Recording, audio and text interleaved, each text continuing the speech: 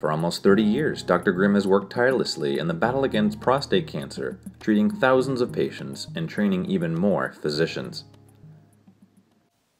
You have prostate cancer. The good news is that the overall survival for prostate cancer is generally very good. The next question, however, is which treatment is best for you? Which treatment will result in the long term likelihood that the cancer will never return?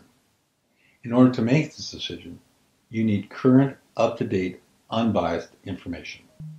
Dr. Peter Grimm is the leader of the Prostate Cancer Results Study Group, a group of physicians from around the world who've come together to review the world's literature on the effectiveness of different prostate cancer treatments.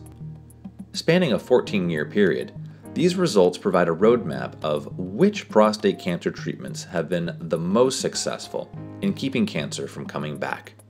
This work is the focus of this video. The Prostate Cancer Results Study Group work is unprecedented. It represents 14 years of evaluating the results of the various treatments that are available for your cancer. With this information, you can compare treatments, you can compare a combination of treatments, and determine which treatments are best for you. It will help you determine which treatment will result in the cancer going away and never coming back in your lifetime. The Prostate Cancer Treatment Research Foundation has recently made the results of this study easily available through an interactive website. To use this new comparison tool, you'll need to know three things about your diagnosis. Your PSA level, the stage of your cancer, and the grade or Gleason score from the biopsy.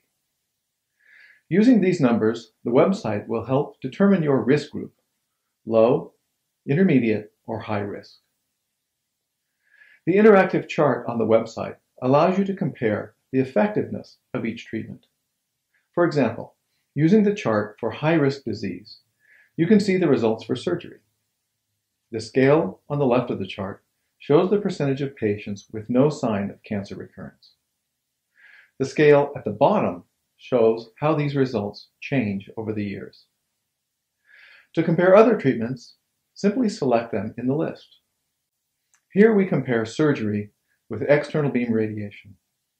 In the higher risk categories, you can also view the results of combined treatments, such as external beam radiation, seed implants, and ADT or hormone therapy. Making this information directly available to you, as opposed to the medical community only, is remarkable. This information is available through the Foundation website and can be used, along with your physician, and your family to help you make an informed decision about which treatment might be best for you. The Prostate Cancer Treatment Research Foundation is working to share information on the effectiveness of the different prostate cancer treatments with patients so they can make an informed decision on the best treatment plan.